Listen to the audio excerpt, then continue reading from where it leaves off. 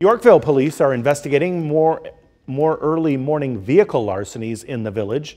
Police say several vehicles were broken into between 1245 and 530 yesterday morning in the area of Sinclair Ave and Caroline Street in Yorkville.